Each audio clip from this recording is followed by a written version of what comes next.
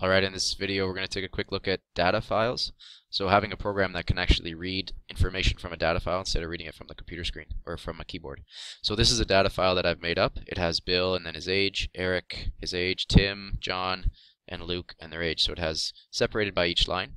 And I've saved this file as data and I've actually saved it as data.txt. So I'd save it as data.txt txt, and it would, should be saved in the same folder as the actual program that you're going to use. So that data has been saved as a data file, and then in my Python program, it's a very quick line. So I can call this f, or I can call this the file, or I can call this uh, input file, or something like that. I'm just going to call it f for now. So f will equal an open data file. This is the name of the file, obviously, data.txt. And this is how you're going to open it. So r means I'm going to just um, open it to read. You could also open it as W, which would be to write to the file. Uh, you can also open it, there's a few different options that you have, but we're just going to open it at the start just to read the file. So it's basically an input file.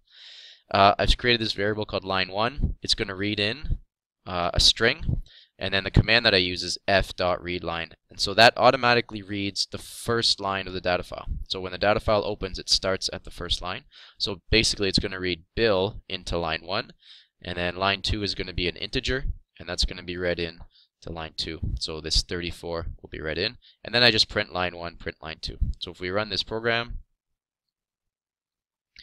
it reads in right here, Bill, and then 34. You'll notice there's a space.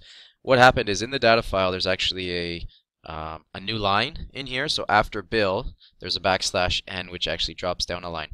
So when it reads in Bill, it actually reads in Bill, and it reads in that new line. So what I'm going to do instead is I'm going to grab this line of code right here. So after I've read in the first line, I'm actually going to search through that line 1. I'm going to look for that new line command, and I'm going to replace it. This is the replace command. I'm going to replace it with nothing. So I'm basically just going to uh, delete it. So now if I run the program, you will see we get bill 34 and there's not that extra space in there because we've deleted that. This doesn't happen with integers. Integers, it just reads in the actual integer. So I could keep going with this program. I could read in line 3 and then get rid of that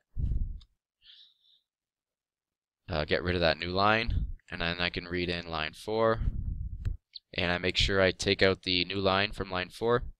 So this is going to be read line 1 as a string, get rid of the new line. Read line 2 as an integer. Read line 3 as a string, get rid of the new line. Read line 4, uh, read line 4, I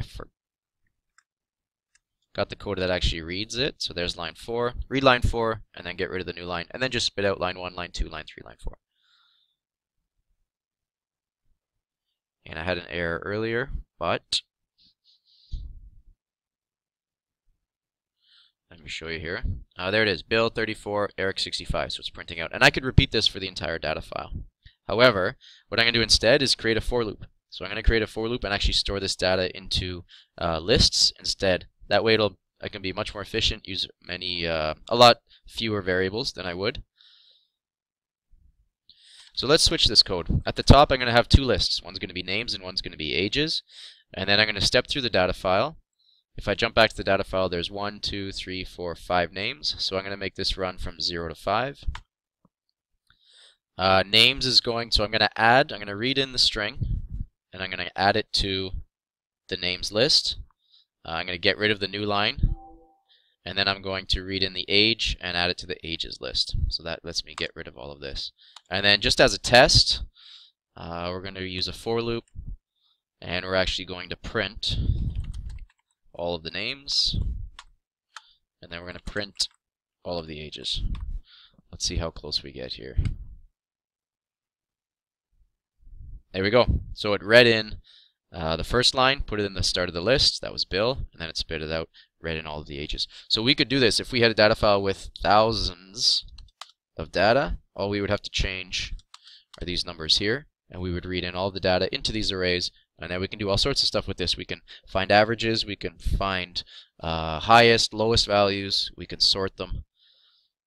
That is a quick uh, look at reading data files using Python.